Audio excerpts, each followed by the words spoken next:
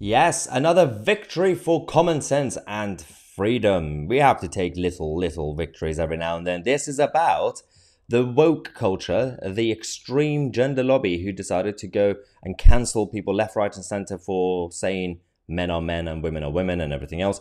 This is about Allison Bailey, who's a, a barrister and she's a, she's basically a non woke lawyer uh, who was who got into trouble with the uh, Garden Court chambers for obviously the barristers, the lawyers' chambers, and uh, these guys tried to cancel her. And this story has been going on for about a year or so now.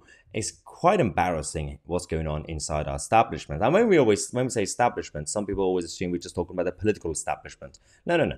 The, the whole establishment, from again media establishment to our cultural institutions, quangos and so-called independent bodies and everything else, the, the problems are there massively. So this was back in 2022 when uh, Stonewall, oh yeah, Stonewall, that woke so-called charity, an organization, a pressure group, uh, who basically they, they go into organizations and government departments and turn them into rainbows and everything else and unicorns. Uh, and there was an article about this that Susan Moore said after Allison Bailey was cancelled, saying if Stonewall doesn't represent a woman like Allison Bailey, then who is it for? What is the point? Just because Allison Bailey didn't really want to obey and go along with the, the woke narrative of Stonewall.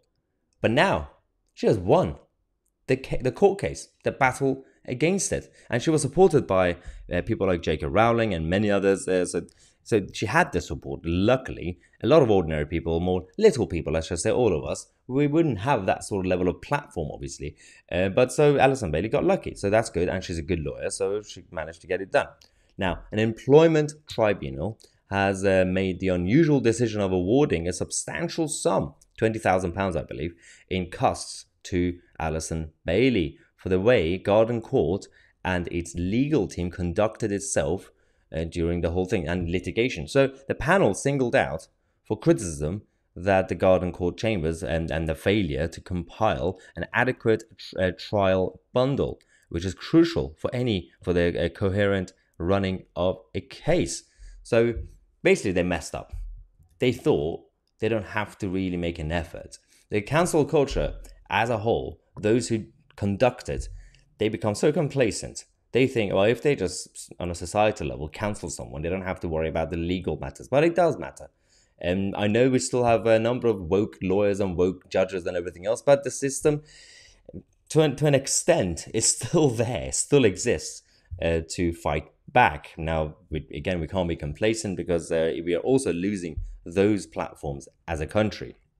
So they said uh, that uh, the panel, stepping back from the detail, we considered whether there was unreasonable conduct in the preparation of the bundle.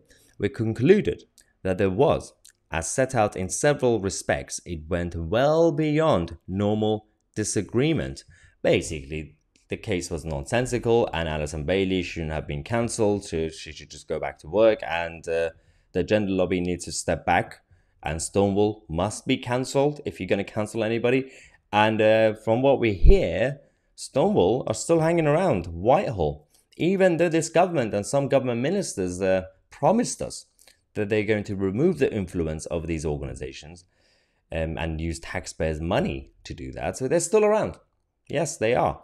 Um, so another broken promise from uh, this government and our politicians, but we'll see how what happens in the next election. Let me know your thoughts in the comment section. I'm Mahyar Tousi, and we are the media.